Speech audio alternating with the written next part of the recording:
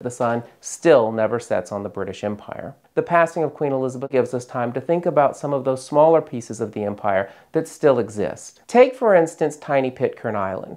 It was bounty mutineers that settled at Pitcairn, and it's their descendants who largely make up the 50 residents of the British colonial possession at Pitcairn down to the present.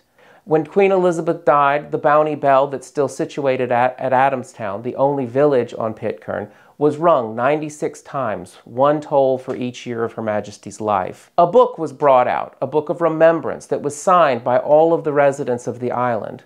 The first resident to sign it was my friend Royal Warren, 94 years old. Royal, that's his first name. It's a common first name on the island, and it's an odd first name, I think we would all agree, for a group of people whose ancestors were mutineers from the British Navy. The irony of a group of loyal mutineers is, I think, something worth noting in our supposedly post-colonial world. We can continue to debate the cultural legacies of empire and cultural imperialism throughout the world, but we miss the fact that empire is persistent if we overlook the tiny places like Pitcairn.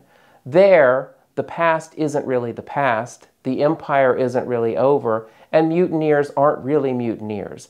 They continue down to the present to be loyal colonial subjects, loyal to the crown, and now loyal to their new king, Charles III.